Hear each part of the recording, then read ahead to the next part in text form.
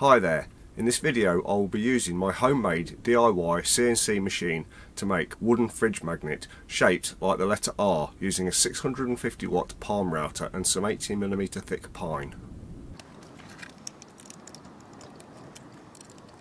As the gantry now sits higher after the supported linear rail upgrade, I have had to modify the router mounting plate to reach the workpiece properly.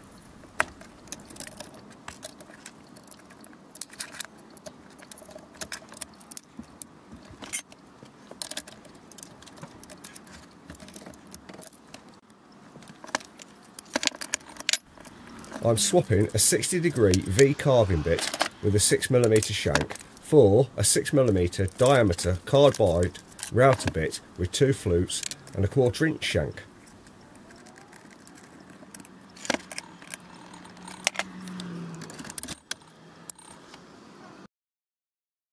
I used F-Engrave to create the letter R.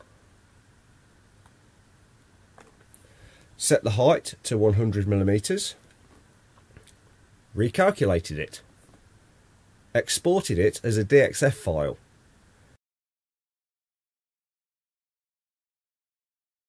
and then opened it into LibreCAD. On a layer called Through, I added a 3mm offset polyline for the cutter compensation, and on a layer called Tabs, I used a copy of this but with two gaps, which will become the tabs that are left when the CNC machine has finished. Next, this DXF file is opened by some Python code that I have written using Geany. See my website for more details. You can set the file paths, feeds and speeds and cut depths here. Then run it to generate a report and the G code required for the CNC machine to use. So let's run the machine. This is speeded up 10 times as you can see from the stopwatch behind.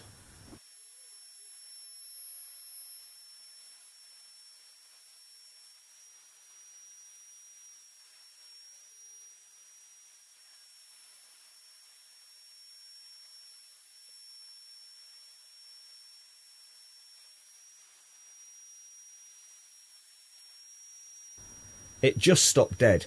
I think the Arduino lost connection with my laptop. I closed the connection from the universal G-code sender and then reopened it. Just lifted the cutter straight up and started the G-code from the beginning again.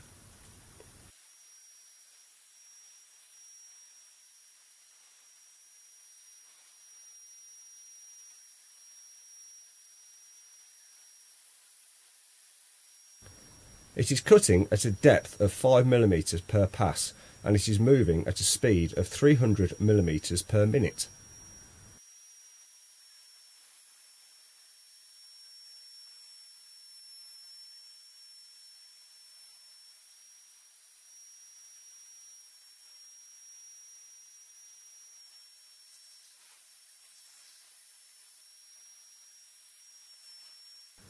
It completed the job without stopping again in 7 minutes and 45 seconds unbolt it. The letter R is still attached by the tabs and can be easily popped out with a quick sand down to neaten it up.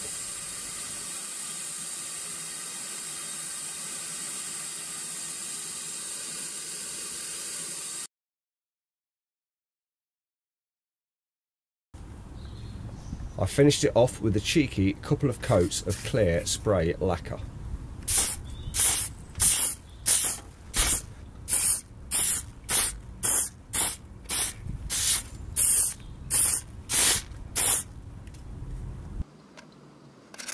Twelve millimeter wide, flexible magnetic strip was easy to cut with a pair of scissors and then stick in place.